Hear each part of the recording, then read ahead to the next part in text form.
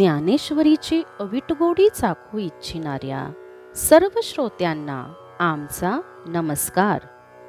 सर्व श्रोत्यांनी पूर्ण चित्त एकवटून ध्यानस्थ बसून डोळे मिटून शांतपणे ज्ञानेश्वरीच्या ओव्यांचा आस्वाद घ्यावा ही नम्र विनंती.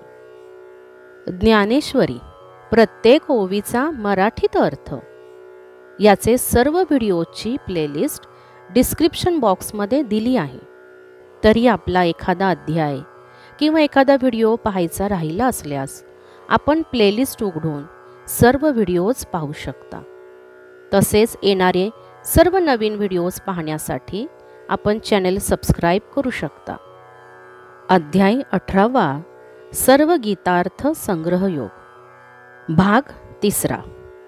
आजच्या भागात आपण संन्यास आणि त्याग यामध्ये काय फरक आहे हे पाहणार आहोत. ओवी क्रमांक एकशे एक. देहाच्या गावा आलिया जन्म मृत्यूच्या सोहळिया ना म्हणू नये धनंजया जिया परी.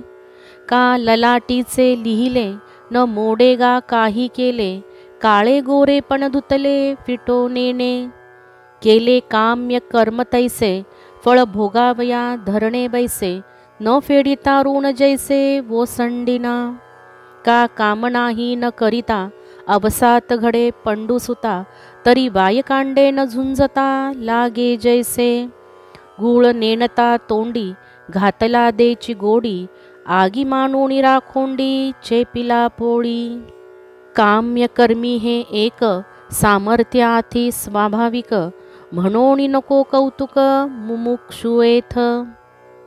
अर्जुना देह धारण केल्यावर जन्म मृत्यूचे सोहळे भोगण्यास नाही म्हणता येत नाही. किंवा ललाटीचे लेख काही केले तरी पुसता येत नाहीत. कितीही धुतले तरी काळेपण गोरेपण नाहीसे होत नाही. जसे ऋण फेडल्याशिवाय मुक्तता नसते त्याप्रमाणे काम्य कर्म फलभोग भोगण्याकरिता कर्म करणाऱ्याच्या दारात धरणे धरून बसते.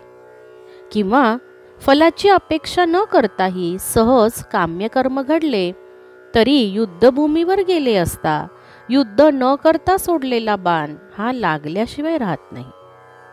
गुळ आहे हे माहीत नसताना तोंडात घातला तरी तो गोड लागणारच किंवा राखोंडी समजून अग्नीवर पाय दिला तर पोळणारच.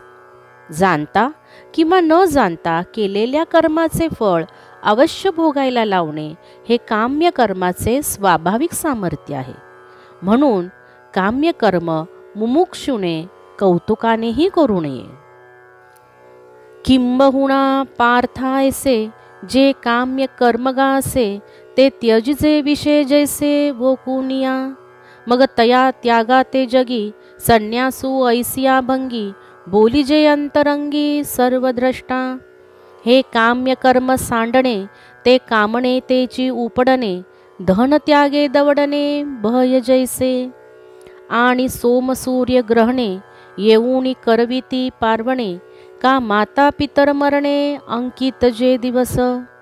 अथवा अतिथी हण पावे ऐसेसे पडे जे करावे ते ते कर्म जाणावे नैमितिक गा। वार्षिया क्षोभे गगन वसंते दुनावे वन देहा शृंगारी यौवन दशा जैसी।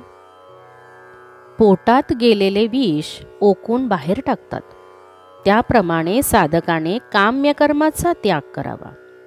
अशा प्रकारच्या त्यागाला जगामध्ये अंतरंगी सर्वद्रष्टे लोक संन्यास असे म्हणतात.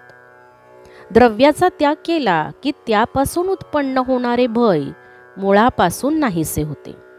त्याप्रमाणे कामना टाकून दिली की काम्य कर्म सहज थांबते. चंद्रग्रहण सूर्यग्रहणाच्या पर्वणीला किंवा मात्या पित्यांच्या श्राद्ध तिथीस किंवा अतिथी आला तर त्याचे आदरातिथ्य करावे लागते. त्याला नैमितिक कर्म असे म्हणतात. वर्षा ऋतूमध्ये आकाश मेघांनी झाकोळते. वसंत ऋतूमध्ये वनाची शोभा द्विगुणित होते. किंवा तारुण्यकाळी शरीर हे सुशोभित दिसते.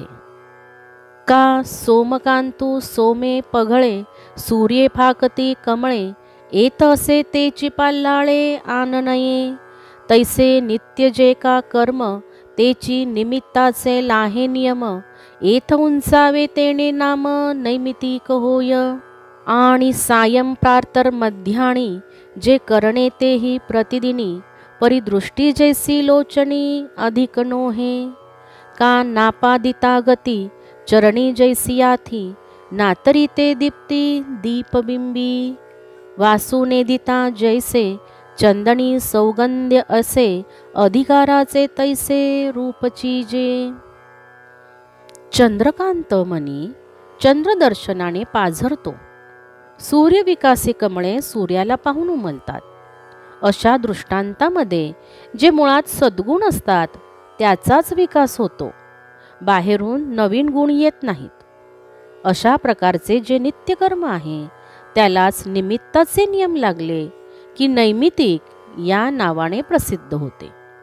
आणि जे कर्म दिवसातून त्रिकाल म्हणजे तिन्ही वेळेला करावे लागते ते अधिक आहे असे वाटले तरी डोळ्यातील दृष्टी डोळ्यांना जशी अधिक नसते तसे ते कर्मही अधिक नसते. अथवा गती जशी स्वाभाविक पायातच असते किंवा प्रकाश हा दिव्याच्या ज्योतीमध्येच असतो. चंदनाला सुगंधाचे लेप बाहेरून लावता येत नाहीत. सुगंध हा चंदनाच्या अंगी स्वाभाविकच असतो. त्याप्रमाणे कर्माधिकार हे जन्माबरोबरच स्वाभाविकपणे प्राप्त होत असतात.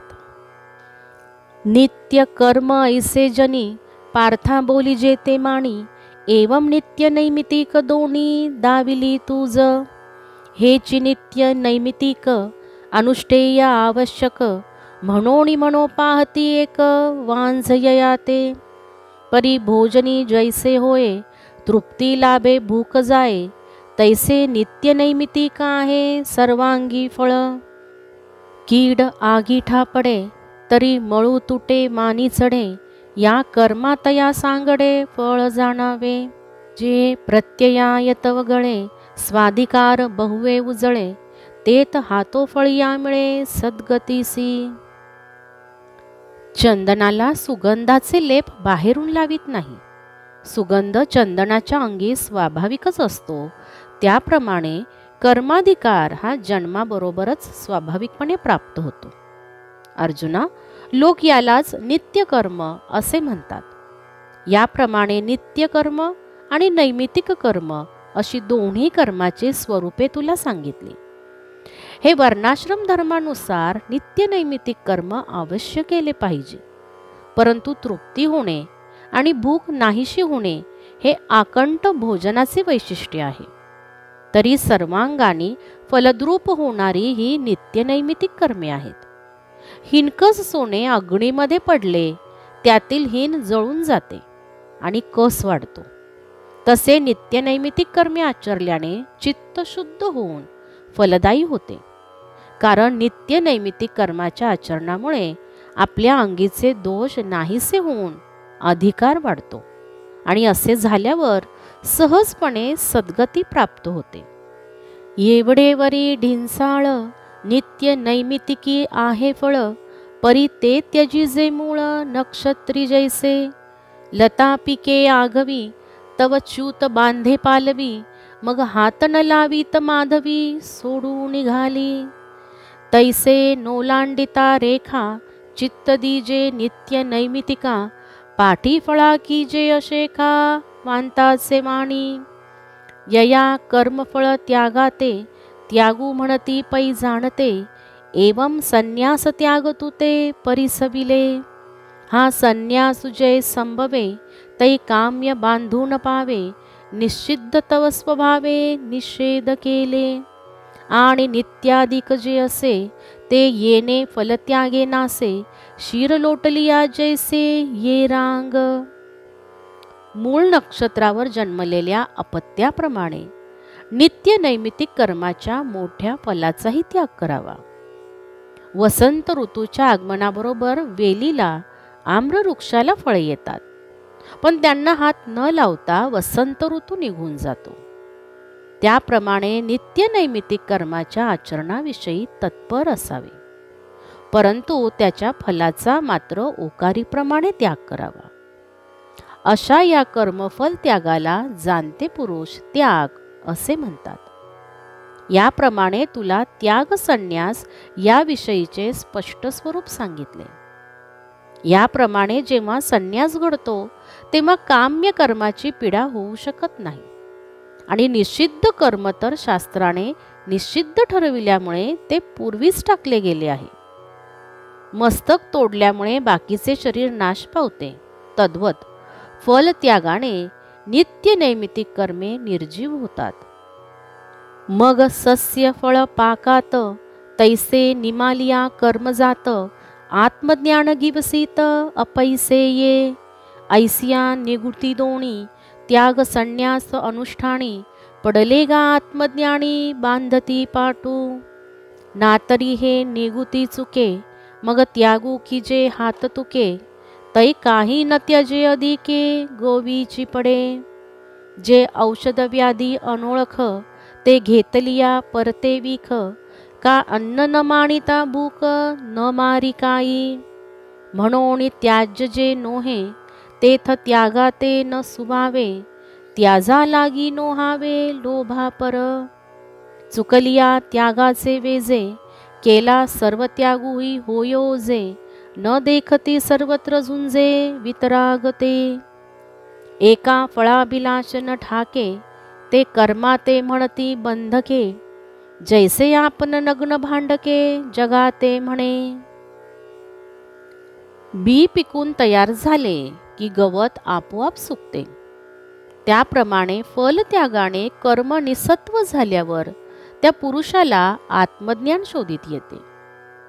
अशा रीतीने कर्मफल त्याग आणि काम्यकर्म टाकणे म्हणजे संन्यास हे दोन्ही जे करतात ते आत्मज्ञान प्राप्तीच्या योग्यतेला संपवितात. किंवा त्यागाची ही युक्ती चुकून स्वतःच्या बुद्धीने तर्काने त्याग करू म्हणेल तर त्याग तर होणारच नाही पण उलट करणारा घोटाळ्यात पडेल. रोगाचे निदान न करता अंदाजाने केलेले औषधोपचार विषाप्रमाणे घातक होतात. भुकेच्या वेळी अन्नाचा अभ्यर केला तर भूक मरणार नाही का? म्हणून त्याग करण्यास जे योग्य नाही तेथे त्यागाचा उपयोग करू नये.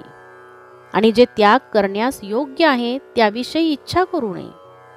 त्यागाचे वर्म चुकले तर कर्मत्याग करूनही मनुष्य कर्मबंधनात अडकतो.